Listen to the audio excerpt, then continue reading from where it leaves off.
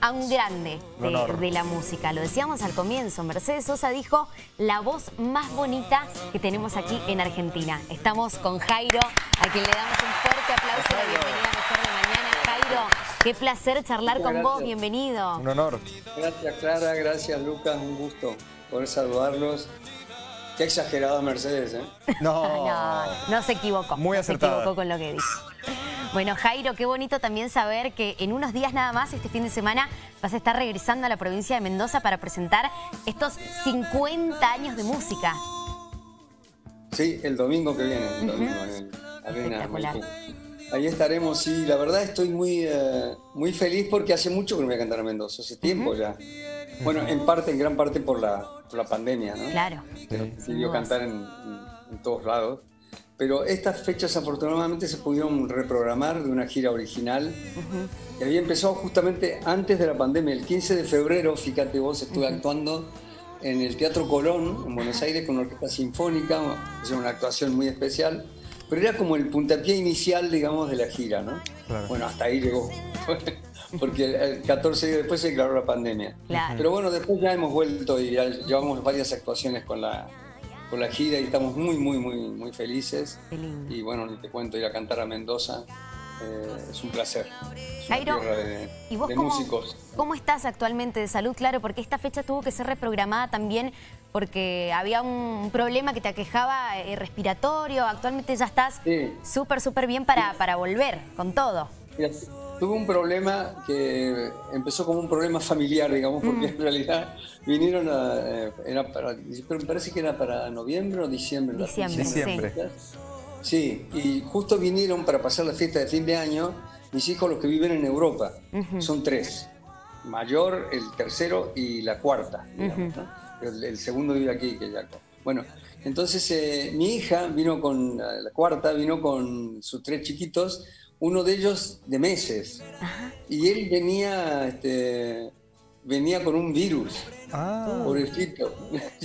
fue, el causante involuntario, digamos, de que nos contagiáramos varios en la familia. Y era un, es un virus respiratorio muy parecido a, los síntomas. Los síntomas son muy parecidos a los del COVID. Em, y, bueno, la cuestión es que no, no, bueno, nos contagió a todos y, eh, no, podía cantar, por supuesto. ¿no? es un virus que ataca y que a los, a los mayores, como, mm. como en mi caso, puede llegar a causar una neumonía. Y a los uh, chiquititos, como el chiquito este, una, una, bronquiolitis. Claro, era complejo. Eh, los dos, el chiquitito y yo, pasamos por eso. O sea que eh, creían que era COVID al principio. Fui a la Fundación Favaloro acá y me, me, encerraron, me tuvieron ahí en una habitación bueno, me hicieron los test necesarios y demás, y nada, por la noche ya supe que no, que no era positivo de COVID, pero tenía ese virus y tenía una neumonía.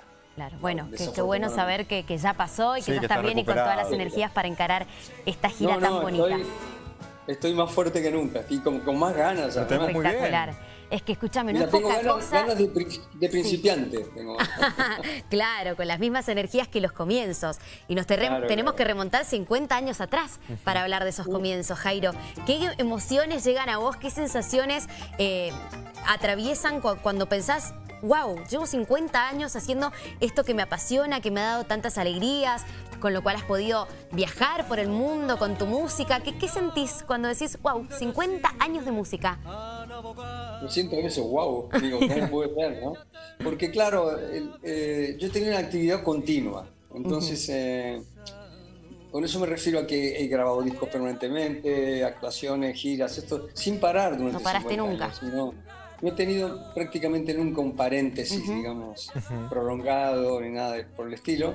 Entonces eso ha hecho que el tiempo te da la sensación de que el tiempo pasa más rápido, no lo ves pasar en realidad, ¿no? Claro. Cuando te querés dar cuenta, decís, bueno, vamos a festejar, ¿qué? ¿50 años? No, Claro, pero claro, ahí están los, eh, las pruebas de los 50 años, digamos, están en las grabaciones. Por supuesto. Clarita, recuerdos situaciones en todos los países, ¿no? Seguro. Clarita te hablaba esto del marco de los 50 años. Si tuvieses que mirar hacia atrás ¿no? y ver a ese joven seguramente con muchos miedos, incertidumbres, que estaba dando sus primeros pasos, hoy, ¿qué le dirías a ese joven que ya recorrió estos 50 años de carrera? Yo le diría calma, calma, tranquilo, tranquilo, tranquilo que todo llega, que hay que tener paciencia, porque a veces, va, cuando uno empieza siempre, cuando es joven uno es bastante impaciente en realidad, ¿no? Quiere que las cosas sucedan inmediatamente, somos muy ansiosos. Pero bueno, eso es un pecado, entre comillas, de juventud. Y eh, hay que tener paciencia y esperar tranquilo las oportunidades y demás. Yo tenía la suerte de que todo se fuera dando de una manera natural. Es decir, eh, eran como puertas que se iban abriendo sucesivamente, ¿no? Y una, una me llevaba a un lugar, la siguiente me llevaba a otro y así, ¿no? Eh, conociendo gente, abriéndome espacios. La verdad es que cuando empecé ni soñaba que iba a ir a cantar a otros países, que iba a tener la posibilidad de cantar en otros idiomas, en fin, ese tipo de cosas. Es muy difícil imaginárselo. Generalmente cuando uno empieza eh, planifica a muy corto plazo, si quiere cantar mañana en, un programa de televisión o lo que sea, ¿no? O grabar un disco. Esas son las urgencias, digamos, ¿no? Pero eh, después, bueno, te vas acostumbrando a cierto ritmo de trabajo y ese ritmo de trabajo te lleva con naturalidad y yo creo que si sos observador, perseverante y demás, te lleva por, por un camino positivo, así que ha sido muy bonito. Yo estos 50 años, como dije antes, no los vi pasar y eso es buena señal, ¿no? Es de que lo he pasado bien en realidad. ¿no? Total. Y qué lindo que, a, la par de la música, de tu tan exitosa carrera, pudiste también priorizar a la familia, enamorarte, eh, bueno, formar tu tan linda familia con todos tus hijos, hoy tus nietitos. Siempre una pata muy importante, ¿no? Contar con el apoyo de, los seres queridos para acompañar también este camino con el amor del cual uno necesita estar rodeado. Sí, por supuesto, es, clave. Para mí, por lo menos eh, por mi forma de ser y demás, es clave. Yo soy muy familiero, como se dice comúnmente. Y eh, no sé, por ejemplo, Mariana Walsh me dice un día, hace muchos años, eh, cuando mis chicos eran chicos todavía, que yo andaba de viaje y todo y andaba con las fotografías en los bolsillos, mostrándoselas a todo el mundo. Me dice, ay, te escuché en un taxi, me dice Mariana, venía un taxi y, y estabas hablando en la radio, te estaban haciendo una entrevista y hablabas de tus hijos. Dice, qué papá baboso que sos.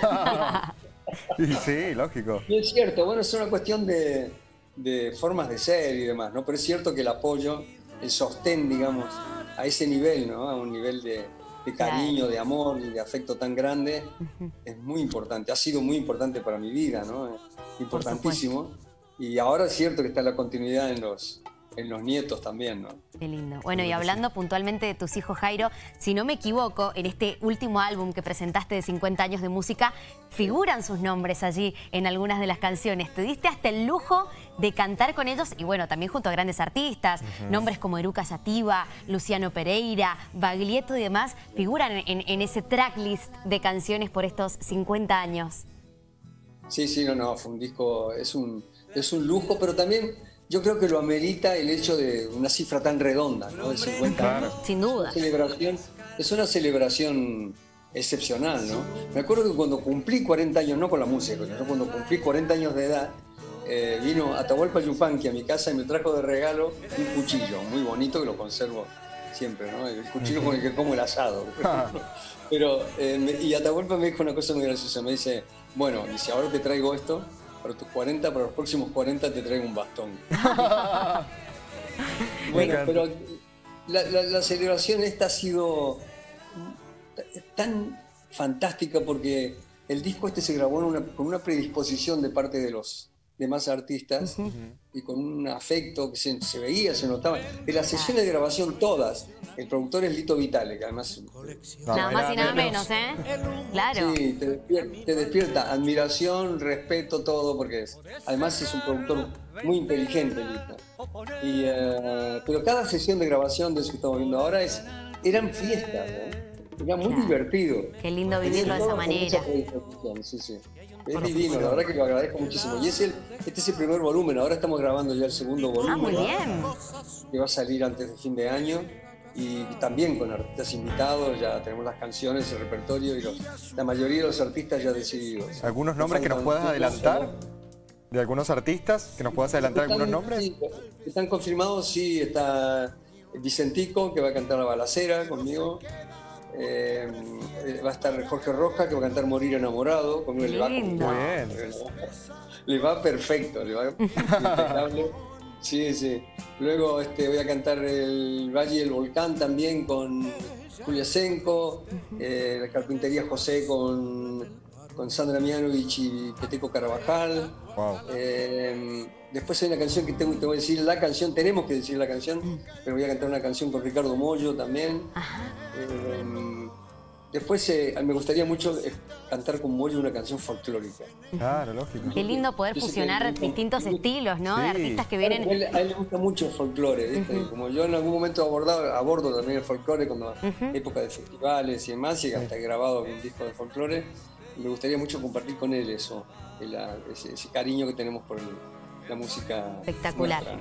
Se viene con todo ese segundo volumen, lo vamos a estar esperando muy ansiosos. hay, hay muchos más artistas, lo que pasa es que eh, estamos esperando también un, par de ellos, a lo mejor un par de, participaciones de artistas así de otros países internacionales. Qué bueno. Qué bueno, espectacular. Jairo, ¿con qué se van a encontrar las personas que te vayan a ver este domingo allí a la Arena Maipú?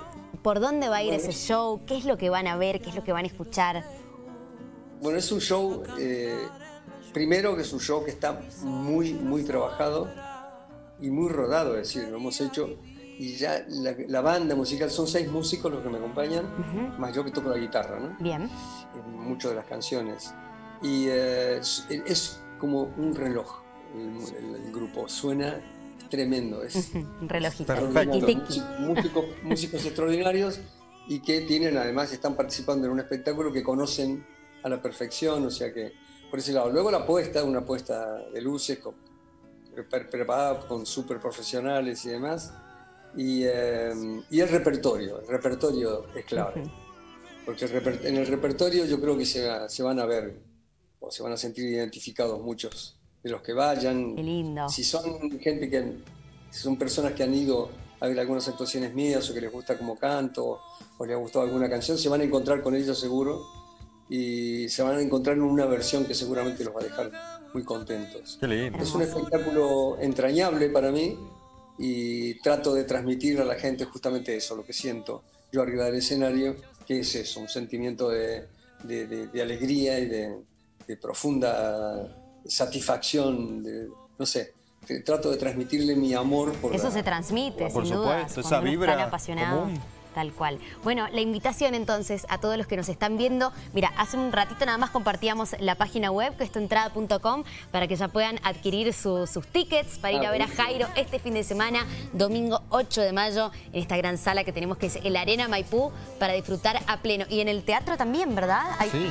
otra función más? Sí, También, sí, sí, sí. Se pueden adquirir las entradas. Ah, se pueden comprar allí mismo en la boletería de la Arena Maipú. Perfecto, eso, eso era. Bueno, Jairo, eh, un placer enorme poder haber charlado con vos, compartir este, este ratito.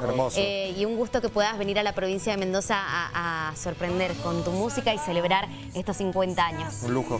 Muchas gracias. Quería comentar un segundito antes de despedirme, quería comentarles una cosa que siempre digo cuando hablo con algún mendocino, que yo tengo una particular relación con Mendoza que parte de mi niñez. Eh, cuando nosotros íbamos a las grandes vacaciones, todas nuestras grandes vacaciones. Cuando yo era niño, cuando tenía 8 años, 9 años, 10 años, a esas edades, eran a Mendoza. Porque por una simple razón, porque mi, madre, que tenía una sola hermana y era la única familia que tenía, eh, la hermana eh, vivía en San Martín. Ah, mira. así que íbamos a su casa y ellos nos hacían visitar todo, conocían muy bien Mendoza. Tengo recuerdos extraordinarios, ¿no? Recuerdo haber ido la primera vez la primera vez a Mendoza con un, vaso, un brazo en cabestrillo, con, me había roto el brazo, Ajá. cuando era chiquitito, ¿eh? y hay fotografías de eso muy bonitas. ¿Y seguís teniendo allegados familiares acá en Mendoza, Jairo? Tengo a, eh, eh, un primo en, ahí en San Martín. Ah, muy bien. Bueno, que seguramente nos está viendo, así que le mandamos un, gran saludo. Bueno, y qué lindo que tengas tan bonitos recuerdos de nuestra provincia. Jairo, un beso enorme. Que estés muy bien y gracias por este contacto. Un abrazo enorme, muchas felicidades para todos. Gracias, gracias, y que sigan los éxitos. Espectacular.